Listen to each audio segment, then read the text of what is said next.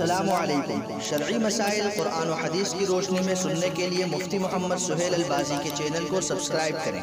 Bell icon پر click کریں تاکہ ہر نئی آنے والی ویڈیو آپ کو بر وقت مل سکے۔ شکریہ۔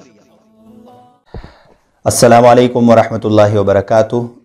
یہ ایک سوال بہت سارے لوگ حرم سے بار بار پوچھ رہے ہیں کہ وہ احرام میں ہے اور وہاں مطاف میں پابندی ہے، فی الحال وہ طواف نہیں کر سکتے، تو اس صورت میں وہ کیا کرے؟ بعض لوگ ایسے بھی ہیں جن کی ابھی فلائٹ ہے اور انہوں نے احرام باندھا ہے، لیکن فی الحال وہ طواف نہیں کر سکتے یا صحیح نہیں کر سکتے۔ تو ان لوگوں کے لیے کیا حکم ہے؟ اور بعض لوگ ایسے بھی ہیں جن کو میقات سے باہر روک دیا گیا ہے، انہوں نے بھی احرام باندھا ہے۔ ان کے لیے کیا حکم ہے؟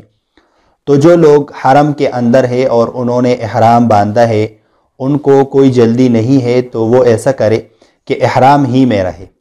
اور جب مطاف کل جائے، جب طواف کی اجازت مل جائے، تو آپ لوگ طواف کرے سعی کرے اپنے عمرے کو مکمل کر لے اور طواف سے پہلے، سعی سے پہلے، عمرہ ادا کرنے سے پہلے آپ لوگ احرام نہ کولے اگر کسی نے احرام باندھا ہو اور طواف سعی کرنے سے پہلے احرام کول دیا، تو اس پر دم لازم ہوگا اور عمرے کی قضا بھی کرنی ہوگی۔ تو لہٰذا جن لوگوں نے احرام باندھا ہے اور ان کو کوئی جلدی نہیں ہے، وہ وہاں پر رکے ہوئے ہیں تو وہ احرام ہی میں رہے۔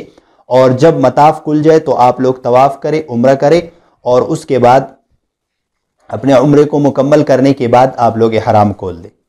اور جو لوگ ایسے ہیں کہ انہوں نے احرام باندھا ہے، وہ حرم میں موجود ہے لیکن وہ فی الحال طواف نہیں کر سکتے اور ان کی فلائٹ ہے ابھی وہ واپس اپنے ملک جا رہے ہیں، عمرہ نہیں کر پا رہے۔ ہیں تو ان کے لیے حکم یہ ہے کہ وہ احرام کھول دے اور دم دے دے حدود حرم کے اندر وہ دم دے دے اور پھر جب ان کو موقع ملے تو عمرے کی قضا کر لے۔ اور جو لوگ میقات سے باہر ہیں، ان پر پابندی ہے، وہ نہیں آ سکتے۔ انہوں نے احرام باندھا ہے، عمرے کی نیت کی ہے۔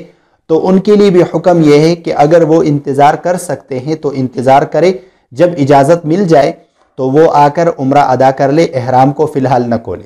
لیکن اگر ان کو اجازت نہیں مل رہی یا ایسے لوگ ہیں کہ وہ وہاں پر رہ نہیں سکتے تو ان کے لیے حکم یہ ہے کہ وہ احرام کھول دے اور حدود حرم کے اندر کسی کے ذریعے اپنا دم ادا کر دے اور جب ان کو پھر موقع ملے تو وہ عمرے کی قضا کرے۔